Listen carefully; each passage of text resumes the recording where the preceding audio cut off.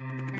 Meer en meer jongens en meisjes krijgen te maken met seksueel grensoverschrijdend gedrag. Dat wil zeggen dat iemand bij jou iets seksueel doet, terwijl je dat zelf eigenlijk helemaal niet leuk vindt. Het kan bijvoorbeeld zijn dat iemand je aanraakt op een plek die jij zelf niet wil, of je een opmerking geeft, of je een seksueel bericht stuurt waar je niet om gevraagd hebt. Als het niet oké voelt en dus over je grens gaat, dan is het seksueel grensoverschrijdend gedrag. Maar heel belangrijk, die grens is voor iedereen anders. En dat is logisch, want alleen jij kan zelf bepalen wat oké is en wat niet. Maar hoe komt het nu dat jongeren meer te maken krijgen met seksueel grensoverschrijdend gedrag?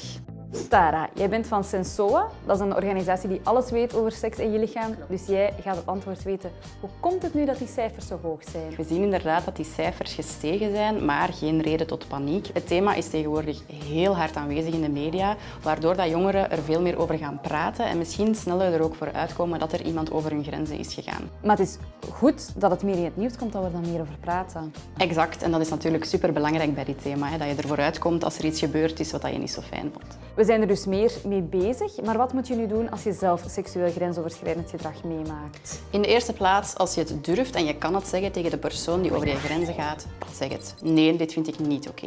Zo zorg je er ook voor dat het gedrag stopt.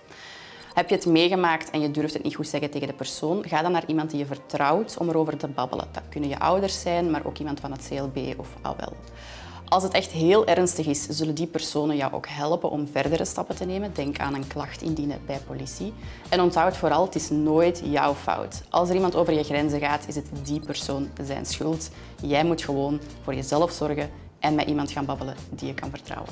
Alright, dikke merci dat ik er met jou over mocht praten. Alsjeblieft. Hoi, de video die heb je al bekeken. Nu nog liken en abonneren. Dikke merci om te kijken. En uh, oh ja, we hebben nog veel meer video's, dus uh, zeker eens checken.